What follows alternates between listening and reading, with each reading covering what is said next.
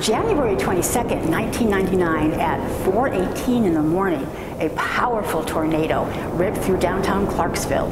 This metal spire, which sat on top of the Customs House Museum building, was wrenched from the roof and flung through the air.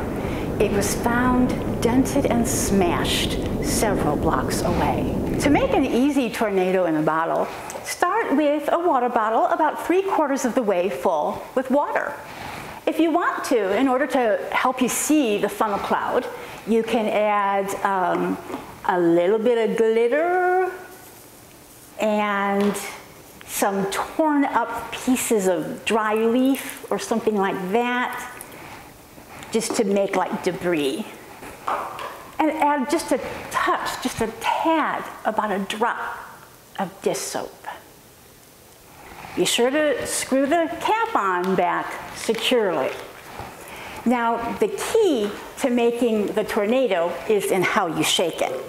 When you shake it, you're going to want to hold it in your hand and shake your arm and your hand in a quick circular motion, like this. So let's try it. Turn the bottle upside down. Let it settle a little bit. Now let's try it.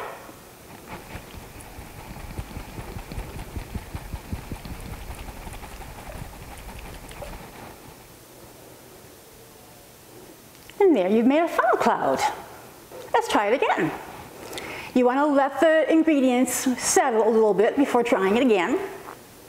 Then once again, quick, quickly shake it in a circular motion and it makes a funnel cloud.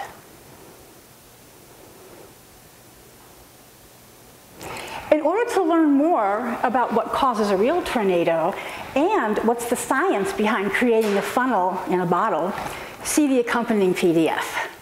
Have fun. Thank you.